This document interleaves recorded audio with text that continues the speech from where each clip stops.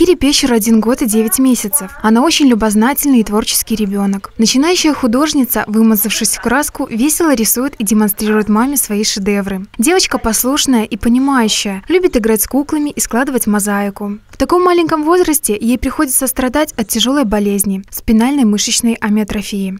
Родилась у нас наша долгожданная девочка, все было хорошо. В определенный момент она не перевернулась на животик. Ну, начали ходить по врачам, анализы, массажи, лечение, но результата не дало. В итоге мы сдали анализ на ДНК, который подтвердил эту болезнь. Спинальная мышечная амиотрофия. Болезнь не лечится, к сожалению. Болезнь очень страшная. Приводит к полному параличу ребенка.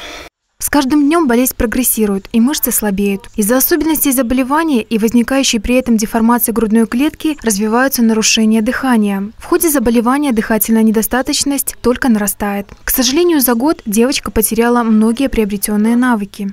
Если раньше она могла поднять головку, если она так наклонит, то сейчас она уже, если наклонит, она не может поднять, она меня зовет. За столиком сидит, она тоже может как-то упасть на этот столик, она уже говорит, мама, мама, бах, бах, ну то, ну, то есть ее нужно подойти и поднять, она не может этого сделать.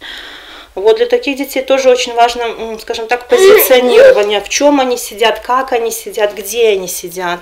Родители уже приобрели специальную коляску со всеми необходимыми поддержками. Мешок амбу, откашливатель и многое другое. Но, к сожалению, денег на все не хватает, и сегодня течение амиотрофии может облегчить только аппарат неинвазивной вентиляции легких. В настоящее время для его приобретения не хватает порядка 9 тысяч евро. Мама Киры обратилась в волонтерскую организацию с добротой по миру, которая поддерживает и помогает в сборе денежных средств. Если кто-то из вас хочет и может оказать финансовую помощь, деньги можно перечислить на счет, который вы видите на экране.